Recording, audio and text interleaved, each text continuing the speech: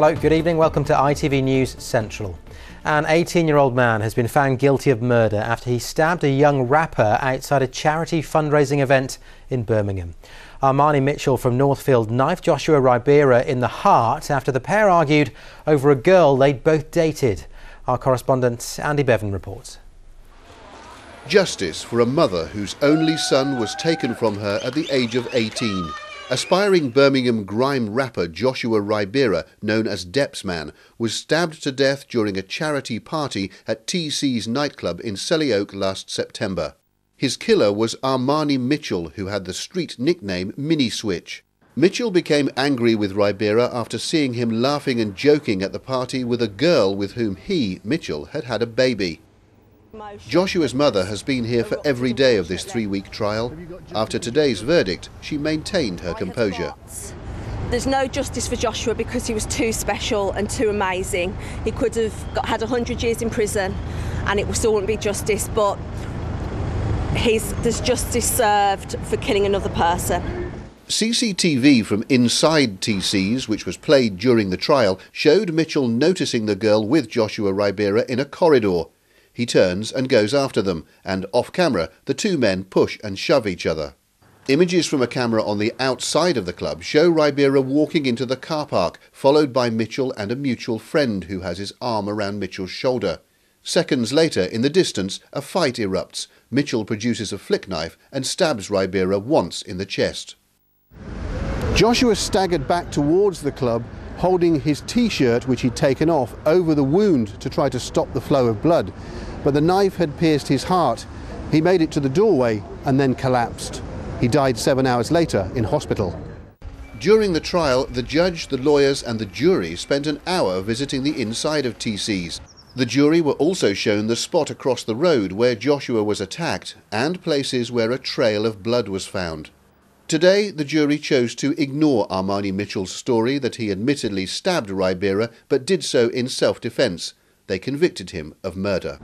Sentencing Mitchell, Judge William Davis QC told him that although what he'd done was under some degree of provocation, it was cripplingly dangerous to carry knives. He sentenced him to 18 years in prison. Andy Bevan, ITV News. And for an extended interview with Joshua's mother and his friends, you can watch Andy Bevan's special report on our website at the address itv.com slash central. Now, there's worrying new evidence that relatives are doing the job of social workers by taking children away from their parents because they're worried they might be abused. That's according to the councillor in charge of child protection in Birmingham. She says the City Council now believes more children are being abused physically or sexually than they know about. Mark Goff reports. It's an uncomfortable admission.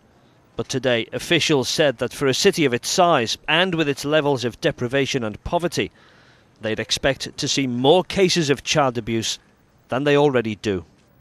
High profile deaths and damning serious case reviews have damaged Birmingham's reputation to care for its children who are being abused, and they're the ones they know about.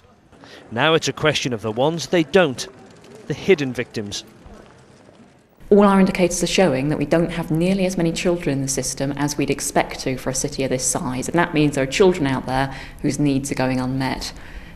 Why? We've got to unravel. So we think some of it is we're making the wrong decisions when children get referred to us, but we think a lot of it is people just aren't referring to us in the first place. And we've got to understand why that's happening and how we can change that attitude. There's no way of knowing if these children have been abused because the authorities aren't told about them.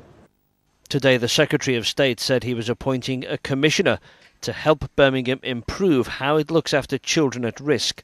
Experts will help those working in child protection, and for once, a long term plan, five years, to fix Birmingham's damaged reputation. The past will cast long shadows. We've, we haven't been doing things right for a long time. There will be further reports into things that have gone wrong. There will be future Ofsted reports that say we're inadequate. Adequate. We're all saying this is only at a very frail recovery stage. What's really important is that we don't get thrown off the improvement journey that is set out today. It's a journey which will be by no means easy. Mark Goff reporting there. 150 jobs are being cut at train operator London Midland. The firm has announced the management positions will be lost as part of a restructure of its head office in Birmingham. Bosses say passengers will not be affected by the changes. David Cameron says he will continue to provide financial support for the National Memorial Arboretum while he's Prime Minister. Earlier this week, the MP for Lichfield, Michael Fabricant, said it was a national disgrace that the Arboretum, which is in Staffordshire, doesn't receive a grant in aid from the Ministry of Defence. The MOD says it's extended funding, which was due to end last year. Now, hundreds of X Factor fans turned out in Leicester to see winner Sam Bailey back in her home city. She signed copies of her new album at HMV in the city centre this evening. Earlier this month, Sam announced she's expecting her third child and she told Lucy Kite that her pregnancy means, despite her newfound fame, she still manages to keep things well and truly grounded.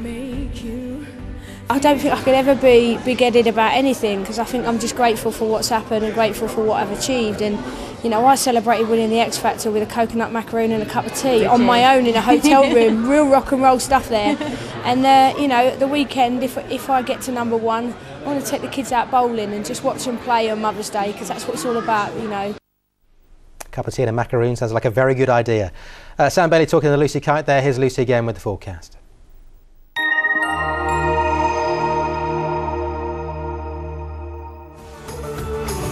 A short break.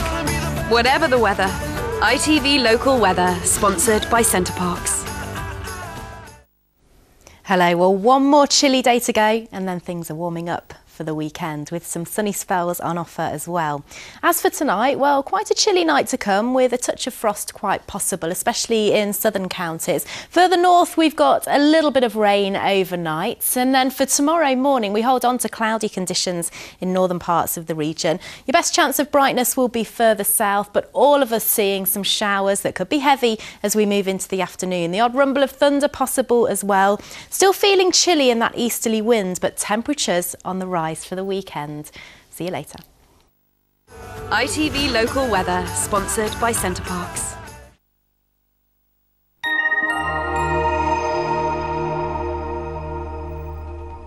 Well, that is all we have time for tonight. As ever, the best way to keep thoroughly up to date between now and our next bulletins, bright and early tomorrow morning, is via the website. itv.com slash central is the address. We are back tomorrow. Until then, it's good night.